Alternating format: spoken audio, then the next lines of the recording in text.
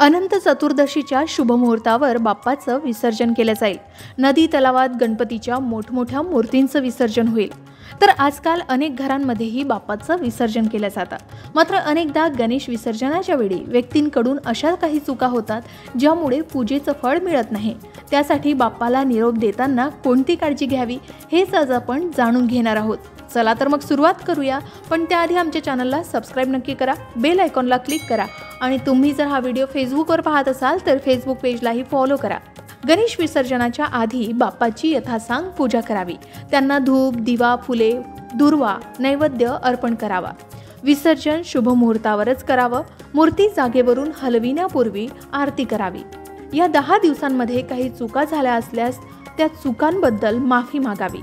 गणपती बाप्पांच्या शेवटच्या पूजेमध्ये पान सुपारी पान मोदक दुर्वा नारळ असं जे काही साहित्य बाप्पांना अर्पण केलं जातं ते सर्व विसर्जित करावं.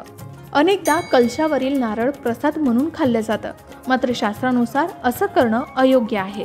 असं मानलं जातं की दहा दिवस गणपती पूजेमध्ये ठेवलेला हा नारळ घरातील नकारात्मक ऊर्जा शोषून घेतो. अशा वेळी ते पाण्यात अर्पण करावं. याबरोबरच गणपती बाप्पाची मूर्ती नदी तलाव किंवा घरातील पाण्यात डायरेक्ट टाकू नये.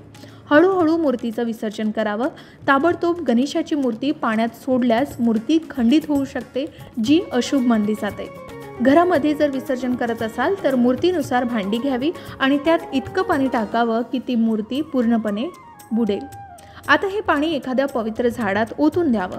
त्याचं पाणी कोणाच्याही पायाला लागणार नाही याची विशेष काळजी घ्यावी. श्री गणेशजींना शुभाचं प्रतीक मानलं जातं. शास्त्रात पूजेत काळे कपडे अशुभ मानले गेले. त्यामुळे विसर्जनाच्या वेळी काळ्या रंगाचा वापर अजिबात करू नये. तर अशा प्रकारे तुम्ही सुद्धा अनंत चतुर्दशीच्या शुभमुहूर्तावर बाप्पांचं विसर्जन करत असाल तर या गोष्टींची काळजी नक्की घ्यावी.